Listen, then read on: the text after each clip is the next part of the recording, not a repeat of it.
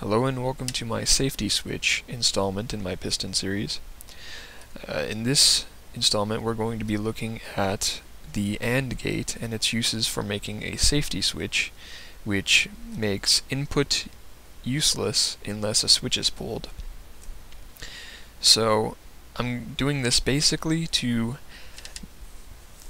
act as a sort of prerequisite to my next video so that I can refer to this video and make explaining things a bit easier. So in order to introduce AND gates, I'll just build one real quick.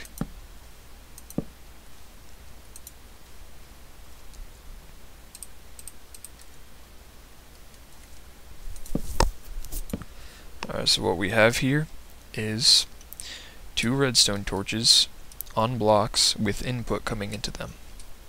So when input arrives and powers this block, this torch will go off and then this will stay lit because this torch is also on.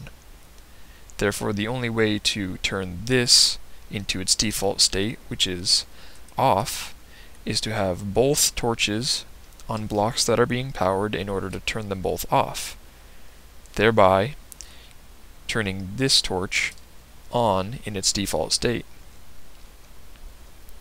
So if we pull this switch here, the torch is off, but because this torch is on, this redstone wire is still powered, and this torch is no not in its default state of on. And when this torch is off as well, the redstone wire is in its default off position, and the torch is on its default on position. So when both switches are pulled, when both blocks are powered, when they are both receiving input of some kind, the output will be powered. And the great thing about these is that they don't have to be in this compact form. You can sort of extend them out a bit so that I can have power going into the block from elsewhere, such as this block here just invert the power this way. And then it still has to be pulled in order to activate that torch over there. And you can do that with this one as well, and you can even take this power and invert it elsewhere. There's a lot of customization, so it doesn't actually really look like the original AND gate in the end if you spread it out far enough, but still works in the same way. So for this example, I'm going to show you a button that is only useful whenever one of the other input, the switch, is pulled. So instead of having two uh, two switches, we're going to have a switch and a button. So I find this to be useful in adventure game making. A lot of adventure maps are becoming rather popular. They're pretty fun to play on. And one thing that's interesting is finding a switch and uh, realizing that the switch doesn't actually work. So here we have a button and it works by pushing the block over here. And the only way this will do this is if it gets the input from the button as well as its other input, which is the switch. So let's say you're in the adventure map and you have this pressure pad of stealth, this hidden pressure pad of stealth, and you have to press the pressure pad to reveal a switch. Then you have to make sure you stand back. Maybe you can have multiple pressure pads and have them being attached to each other so that you have to stand in a certain position in order to press the switch, like maybe you have to go around the corner like this or something. Make it a bit more difficult than simply pressing a switch, so that you know this is in the way. Then when you flip the switch, the power goes off. And see I have the power going from the switch into this, and in here, and then it's inverted, and here. This acts the same way as the front of the AND gate I showed earlier. So it's just removed from its two inputs.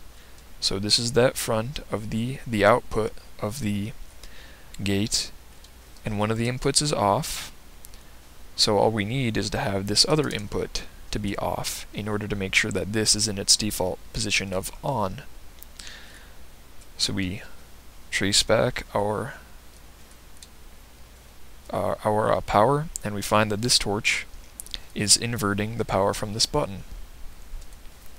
So it's always being on until the button is pressed and when you press the button it goes off and since this is off and this is off the torch will be on and will power both of these because this torch can power this one from one block over and down at a sort of angle.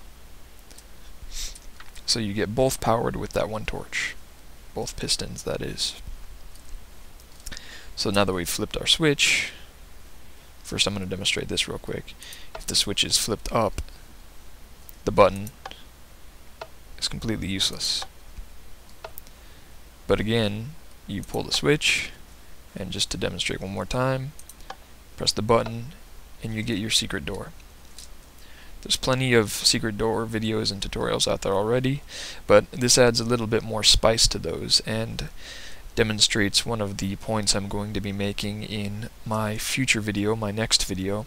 So I figured it'd be good to introduce it first as sort of a just a just an introduction in case people wanted to make something like this for an adventure map.